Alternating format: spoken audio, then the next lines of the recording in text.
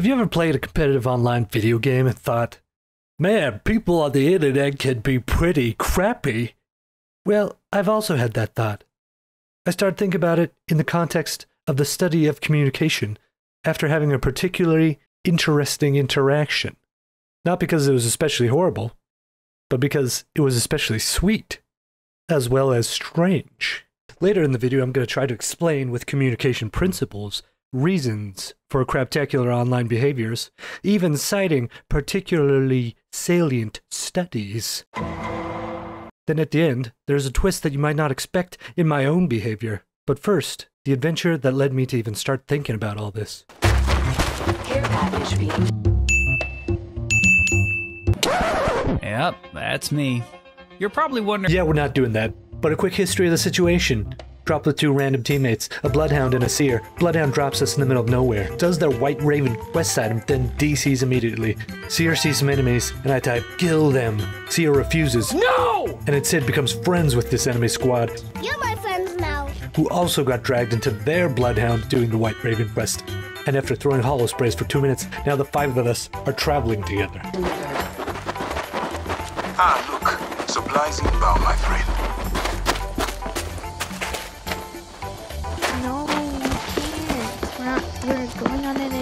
Adventure. Adventure time! Come on, grab your friends. We'll go to very distant lands. We'll take the dog and then we'll win. We'll never end this adventure. I'm sorry. This is a once in a lifetime thing. I promise never to. What? I'm sorry, but you'll find a new father. If they shoot at you, then you can kill them.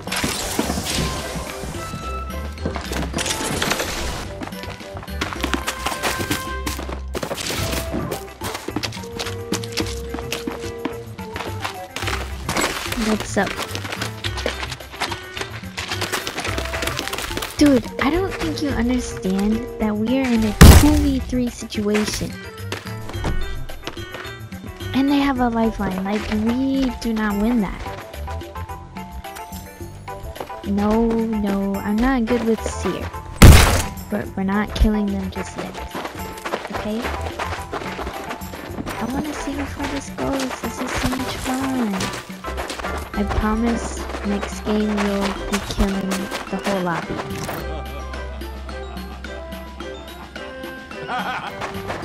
Just maybe not this game.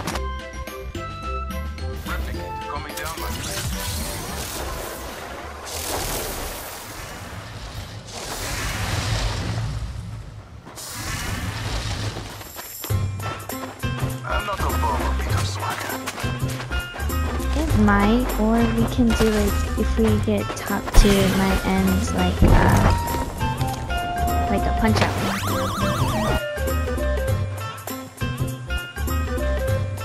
We have to be careful not to die.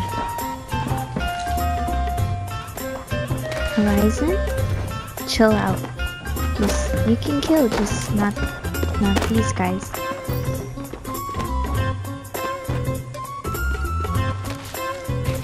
Unless like the other people are friendly too, then you can kill them. But like, you know what I mean?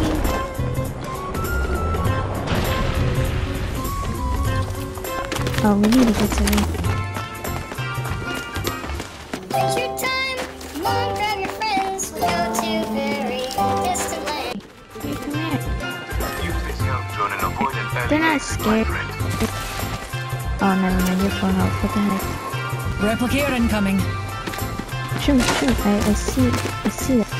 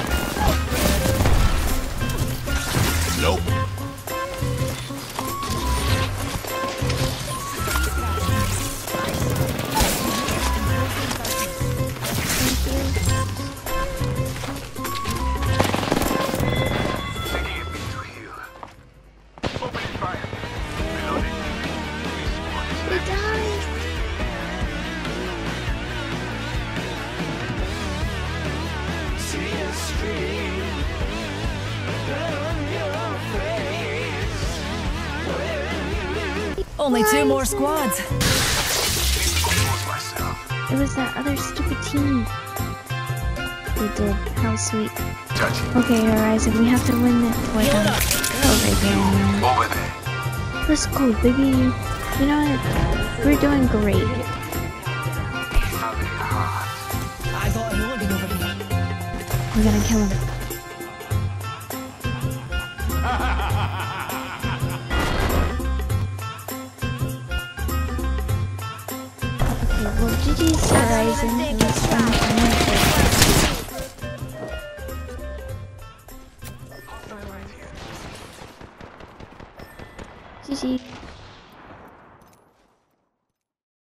And thus our adventure came to a close. That game went from a frustrating experience where someone dropped to do their quest, then quit, leaving us short-handed, into a renewal of my faith in humanity. This person was so adorably positive, I could hardly believe it. This did not feel like a typical online competitive game interaction. Most of my memories of interacting with people using in-game voice chat are of the sickening feeling you get when people are yelling crappy things at you. There is a section of people in all competitive games that are both extremely vocal and extremely vitriolic.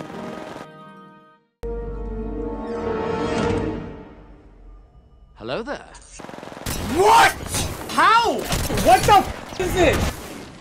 What? Oh, you see what I don't. Yeah, come This is to. the better, this is the better spot, I think. No, get the f over here right now. Next to us, get the f over here, snipe. Why are you not listening? Fine. What the f? You do 50 damage as a Gibby. You take it now? Bro, you're blocking me! Holy f you guys are pissing me off. Gotta shoot them or something, like... What are you just sitting there for? What are you... Are you looting? Like, what... do-? No, I'm not. Shut the up, bro. Do you think I'm looting right there? Don't be saying before you have any idea what happened. I'm really tired of that. What? How? What the f is this? What? Now, I'm not trying to like go in on Imperial Hal or anything like that, but he is so mean. Yeah, I get that he's super competitive, he's just trying to win. Uh, but, okay, look. If I ran into Hal in a pub and he said anything approaching these things, Bro, you're blocking me! Holy f you guys are pissing me off. I'd be like, yo, that guy's a dog turd piloting a human mech suit.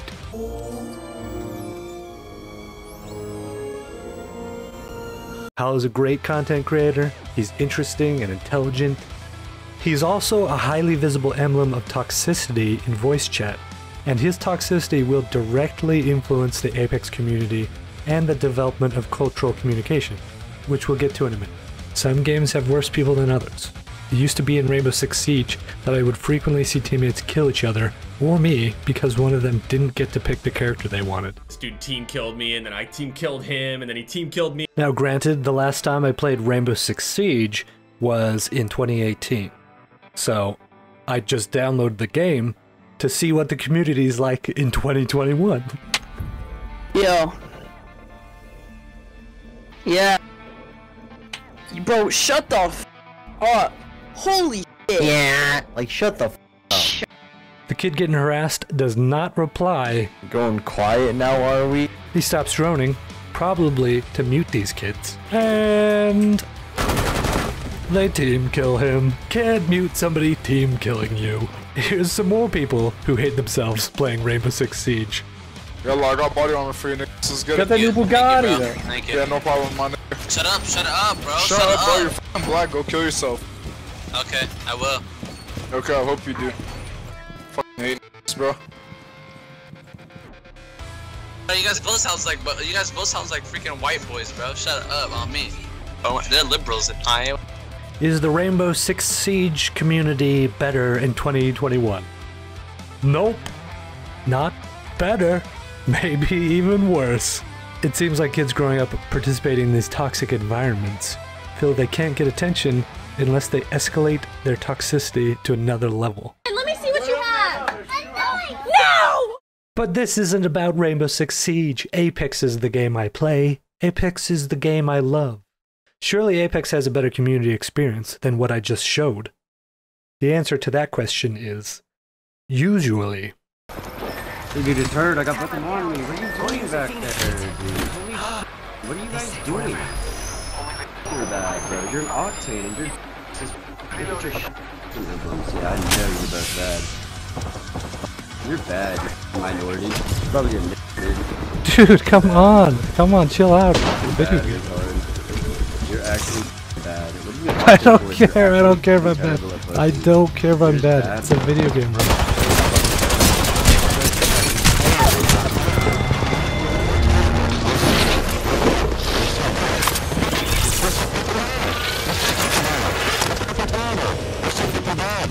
You're so funny. This is cracking me up. I love it, dude. Please continue, please, please. I love this.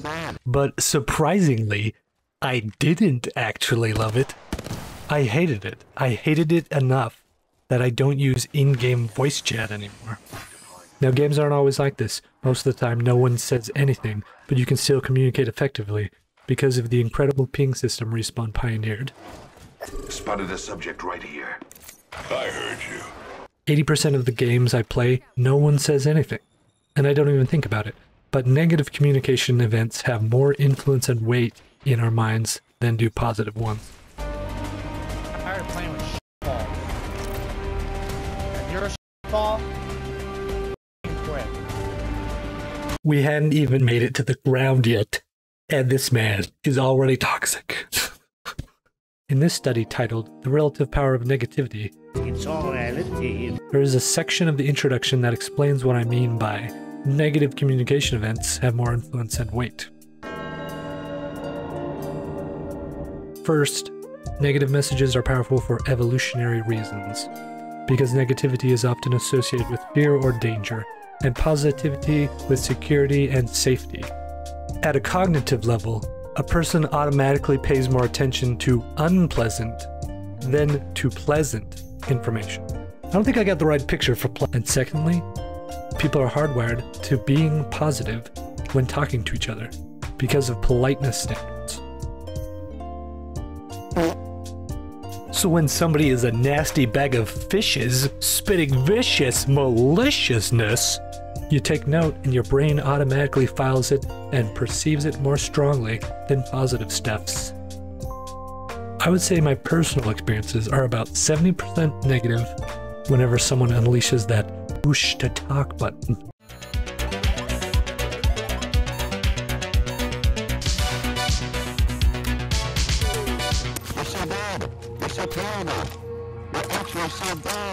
I thought the percentage of negative voice chat events was much higher, but when I was checking back through some recordings, I realized I just thought it was higher because of the negativity effect that we just discussed. I think Apex is actually the least negative uh, competitive game experience that I've had.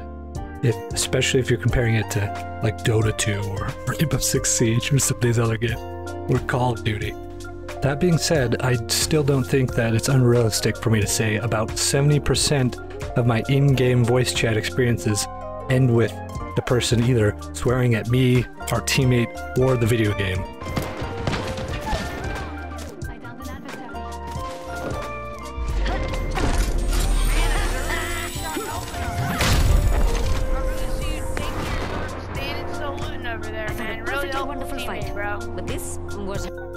Go play Warzone and stop spending money on skins in this game. You ball little controller. Oh my. Your your dog the game. Kid, where the heck are your parents? the negativity effect explains why someone yelling at you in voice chat has so much weight and power in your mind. But why do people do it? Why are 90% of my in person communication events positive, but 70% of my in game communication events are dramatically negative? In person behavior is like this. Online behavior is more like this. That's not an accurate representation, it's more like this. Wrecked little girl, such stupid idiot. Did you so well? Okay, let's talk about some reasons.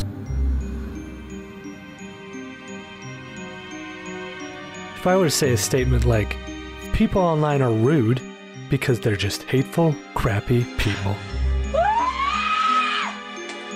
That is what we call the fundamental attribution error.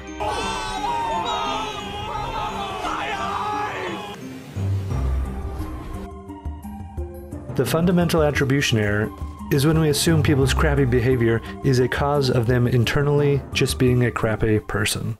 Yeah, okay, really, dude? Oh,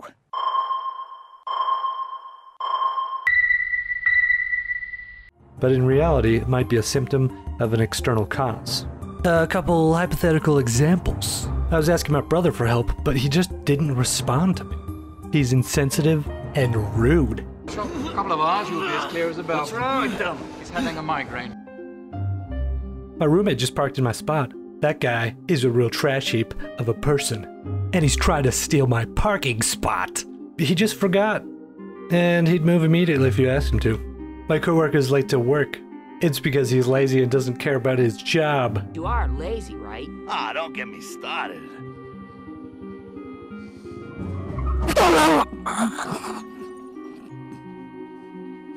You probably just made the fundamental attribution error again, didn't you? Thinking, what the heck? That guy just rear ended that motorcyclist. He's careless and a horrible driver. But the real reason was the guy three cars back.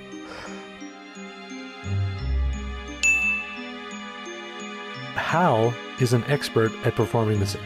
Gotta shoot them or something? Like, what are you just sitting there for? The implication is that Snipe sucks, and the loss was because he wasn't shooting and was playing like a dummy. But the real reason for the loss.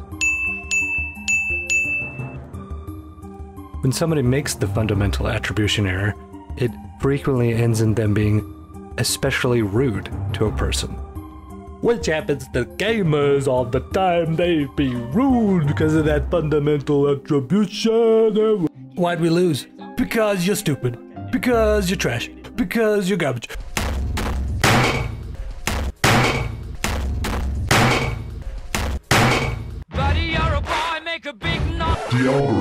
Has detected a popular song. Prepare for assassination. Please, now it was like two seconds of Queen. Ow! Why do gamers so often blame their teammates? Even when someone has just done something completely and utterly stupid. Should be deterred. I got nothing on me. What are you doing back there, dude? What are you guys doing? That's a very interesting question, teammate. His HUD would have told him exactly what we were doing. He read it and died alone, and then blamed us.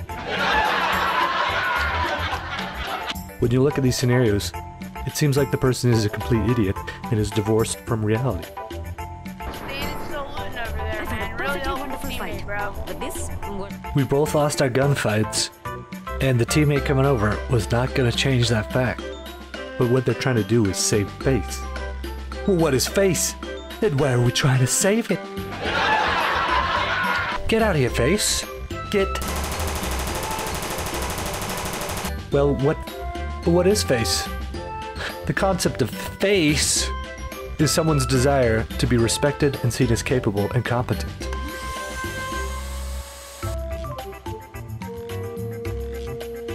So when they run off and die in a stupid way and are directly responsible for the poor circumstance they find themselves in,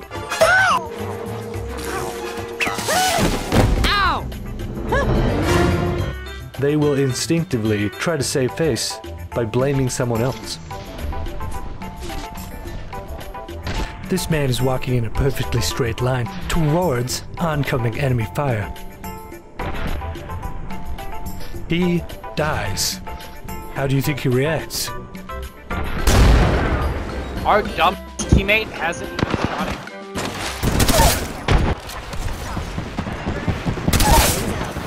Now, was his death in any way, shape, or form my fault? No.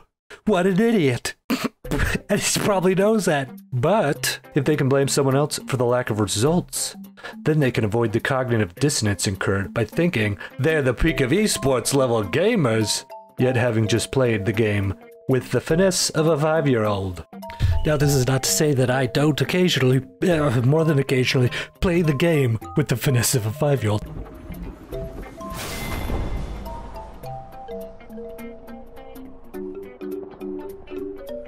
What happened? I don't want to talk about it. Another reason people are real fart faces online anonymity. I can say rude and hurtful things because nobody actually knows who I am. I can disassociate my online behavior from my perception of myself. Obviously, it's not a conscious thought, but rather an automatic response due to the lack of direct emotional stimuli like you'd get in person. For example, if you're yelling at someone on the subway, you immediately and viscerally will feel people's judgmental attention on you. From their eye contact, their facial expressions, the silence that would ensue. All of those things make you want to follow societal politeness standards. Unless you just really suck foundationally as a person, which there are plenty of those.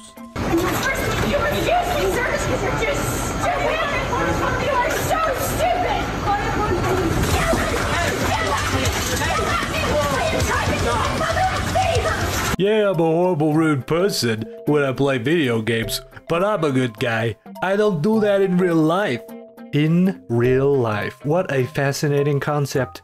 Being an unacceptably turd like person, as long as there's a computer screen in between you, is okay for many, many, many, many. One hour later.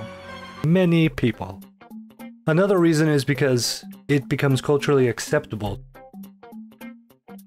That's one of the reasons games vary in toxicity levels.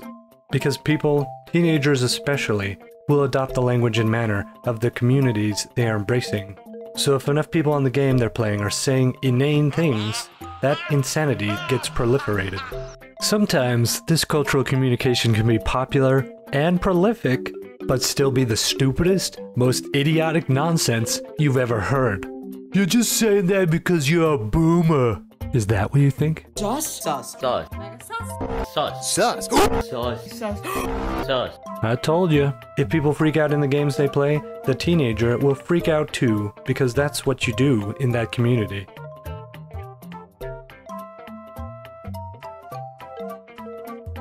It's not just teenagers.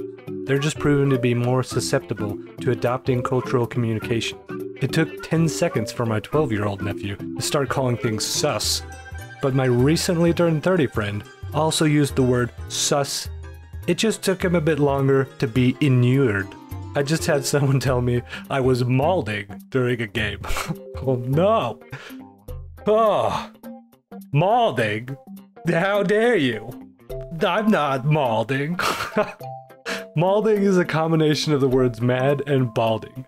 And if you don't think that's the stupidest thing you've ever heard, it's because it has been adopted by the culture and you just accept it as cultural communication. And this brings us back to Hal. Who has the most power over crafting a culture's communication? That's right, it's the cultural icons. This is Elvis, by the way, it, if you didn't know. For Apex, Hal is one of those cultural icons, and whether he likes it or not, he has power that will influence the community and how players act in this game. What are you just sitting there for? Now, obviously, that applies to all the icons of a community, so in this case, like Timmy, Aceu, and, uh, you know, that's the ones that I watch, so uh, Hal, Aceu, and Timmy, there's more, I'm sure, but uh, that makes them look like they're in a boy band.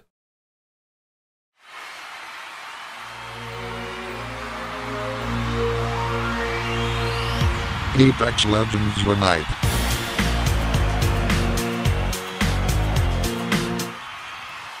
potentially getting a little sidetracked from the point that I was trying to make. Let's look at Timmy's reaction to stressful tournament scenarios. Yes, yes, yes.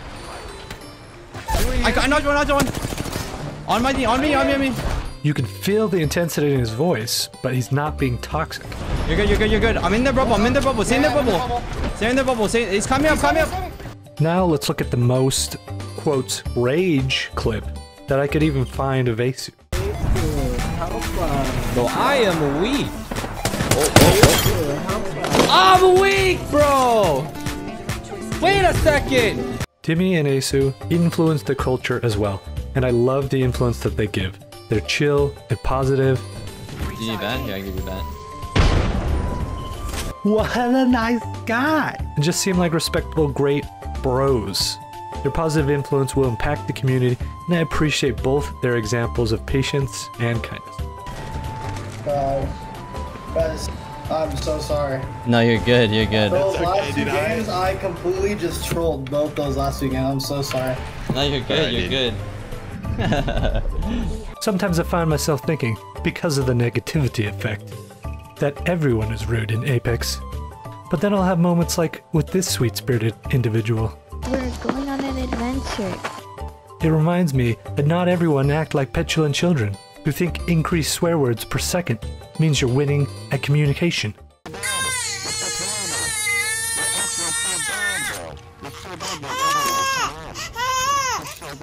Maybe I should give comms a chance again. If this next game goes okay, maybe I'll try again. Hey, Rando. Thank you. Trade me. Trade me your optic. If you don't, if you don't drop 2K like I do, then you have to Our dumb teammate hasn't even shot it.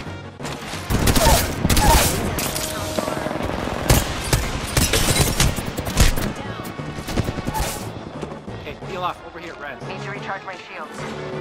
Don't heal. You don't have time. Appearing on me now.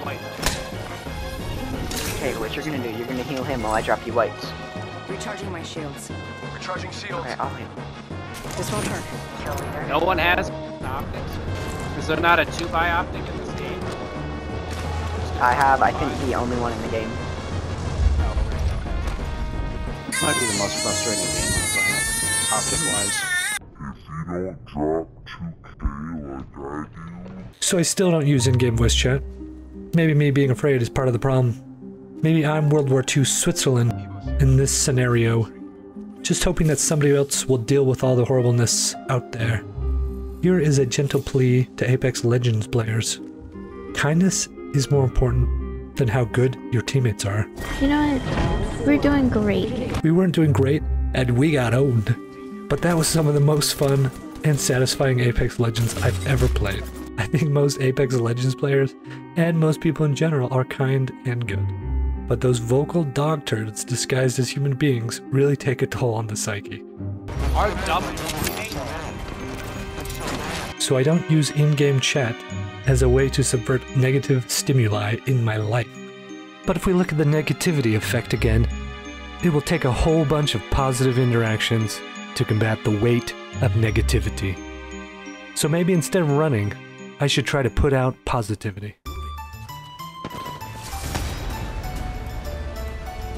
Oh, we did it. Oh my gosh. Good game, guys. Good try. I'm sorry, guys. I'm the worst. You got this. Mm, nice job, man. bloody floor with that squad. Good try, man. Nice job. Nice job, man. Like right there if you want it. Thanks, man. Yeah, no problem. Get any shields, by the way? Uh, yeah, I need spare. I appreciate it, brother. Yeah, no problems. Oh, I'm so close, man. Good job, guys. Good job, bro. Good match. When I put out positivity, I usually got it back. Apex Legends players, man, what a good bunch. Except for all those people that totally suck. But for the most part, what a good bunch. When I started to actively try to spread positivity in voice chat instead of just staying silent, that graph we looked at suddenly started looking like this instead. You know what? We're doing great. Final thought just be good to each other. Being kind makes everything about life better, even playing video games. You could also just press this button right here, solves all your problems.